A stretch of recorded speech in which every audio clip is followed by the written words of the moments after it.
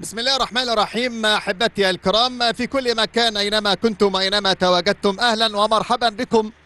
أصدقائي الأوفياء متابعينا الأعزاء في كل مكان عبر شاشة قنوات ON Time Sports من استاد برج العرب أحييكم ويسعدني أن أكون معكم للتعليق على أحداث مباراة طلائع الجيش والمصري البورسعيدي في مباراة الدور قبل النهائي لمسابقة كأس الرابطة المصرية للأندية المحترفة لعام 2024 النسخة الثالثة من هذه البطولة التي بدأت في عام 2022 والتي توج بها فريق مودرن فيوتشر في النسخة الأولى. ثم حمل لقب البطولة في النسخة الثانية فريق سيراميكا كليوباترا المصري البورسعيدي اللي كان وصيف النسخة الثانية في العام الماضي أمام سيراميكا كليوباترا يسعى للحصول على تأشيرة الوصول إلى الدور الختامي والمباراة النهائية لبطولة كأس الرابطة المصرية. أمام طلائع الجيش فريق اللي سبق له أن توج ببطولة السوبر المصري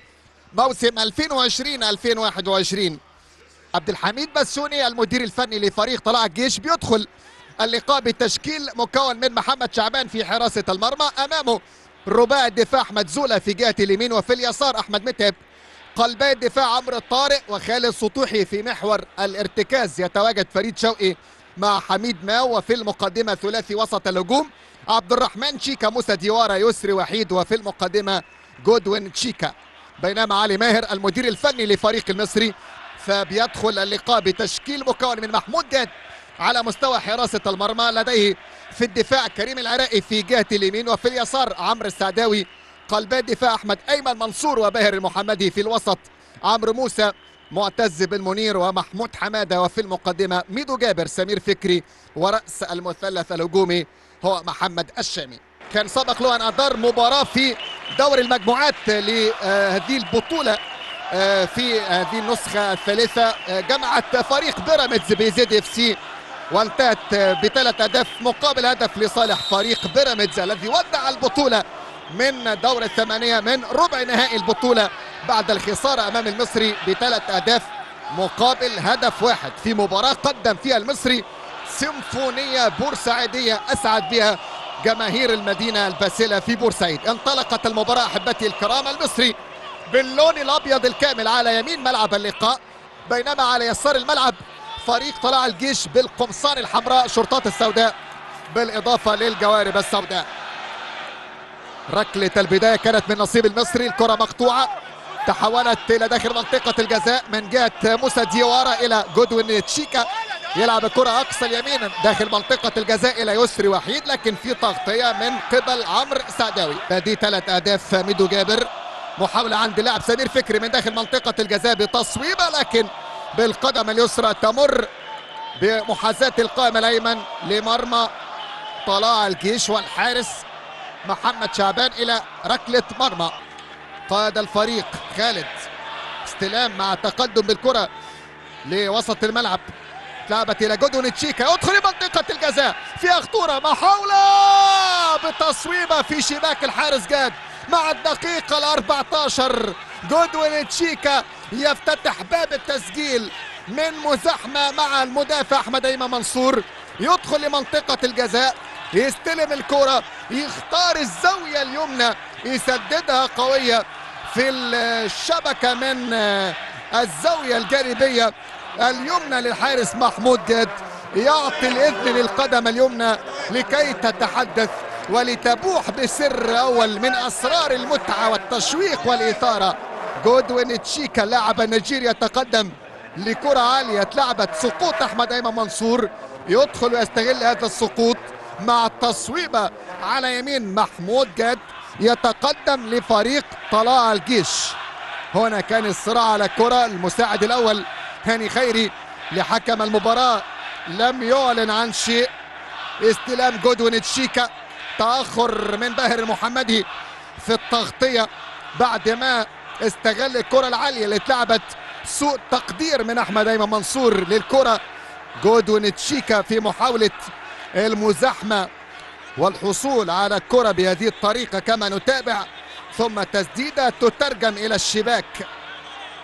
وإن كان ربما يكون في تدخل من قبل حكمي الفار وائل فرحان ومصطفى شهدي حول تدخل جودوين تشيكا في الكرة مع أحمد أيمن منصور اللي بيحتسب بالفعل هدف هدف عبد العزيز السيد يؤكد على صحة الهدف بعد المداولات والمشاورات مع حكمي تقنية الفيديو والفرحان ومساعده مصطفى الشهري إذا الفريق صاحب الضيافة طلع الجيش يتقدم.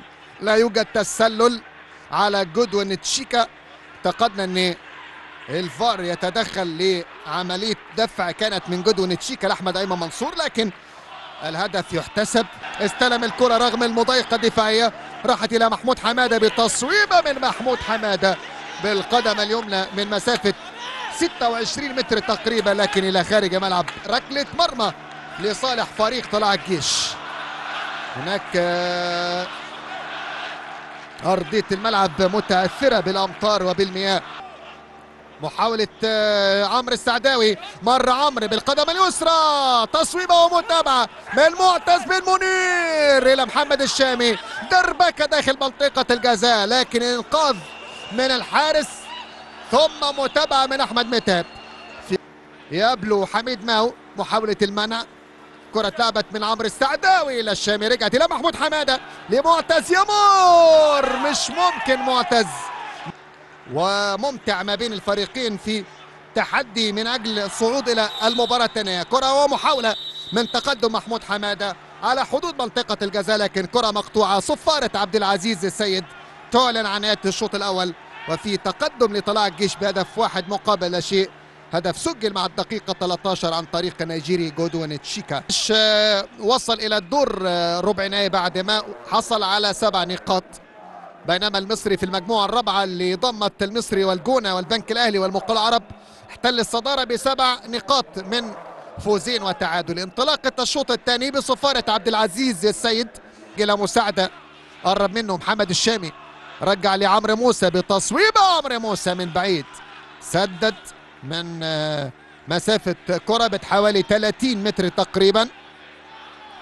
أو أكثر لكن الكرة تمر إلى ركلة مرمى. بالقدم اليمنى. يسري وحيد وأحمد ايمن منصور. يسري يقترب. الكرة تأتي لعمر السعيد. تسديدة لكن في وسط المرمى. من حسن حظ الحارس محمود جاد إن تصويبة عمر السعيد راحت في منتصف المرمى. ضغط من حسن علي. أعاد الكرة حسن علي. يحصل على خطأ حسن.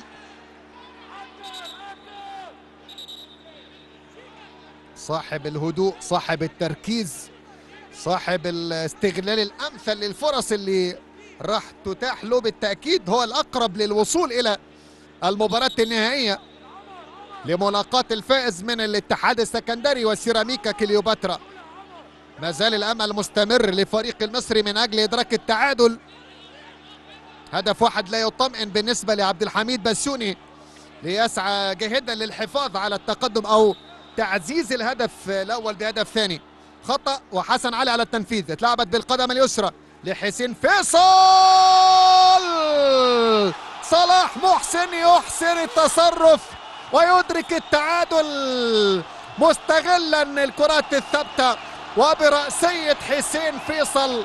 ومن حسين إلى صلاح وصلاح محسن يصلح الحال ويصلح الأوضاع من داخل منطقة الجزاء. بباطن القدم ترجمها ليرسم الفرحة والسعادة. فرحة كبيرة تظهر في مدرجات ملعب المباراة هنا في استاد برج العرب. صلاح محسن هو المترجم التهديفي لنسور المدينة الباسلة مع الدقيقة 74 مستغلا كرة عالية اتلعبت إلى حسين فيصل. السر في كلمة البدلاء. البديلين صلاح وحسين. حسين براسية تهيأت إلى صلاح وصلاح بباطن القدم اليسرى. يترجم الكرة في الشباك. حاول محمد شعبان أن يتصدى وأن يحافظ على نظافة الشباك ولكنه فشل. وأبى صلاح محسن أن تمر الدقائق دون أن يسجل وأن يضع التوقيع وبصمة وإمضاء في شباك طلائع الجيش. صلاح محسن يسجل هدف التعادل. اللاعب اللي سبق له أن سجل في مرمى طلال الجيش ها تحول في الأداء بعد هدف التعادل وكاد أن يفعلها ميدو جابر. ميدو بتصويبة من على مشارف منطقة الجزاء. الكرة مرت بمحاذاة القائم الأيمن. خطأ من دجدوج راحت إلى ميدو. سددها ولكن مرت بردا وسلام. على مرمى طلائع الجيش اصطدمت وتحولت إلى ركلة ركنية. حسين فيصل كرة عالية لصلاح محسن داخل منطقة الجزاء. ممتاز محمد شعبان. خروج من مرماه بقبضة اليد أبعدها قبل تدخل صلاح محسن لكن يسقط يتألم من الاصطدام اللي حصل مع صلاح محسن. ألف سلامة لمحمد شعبان.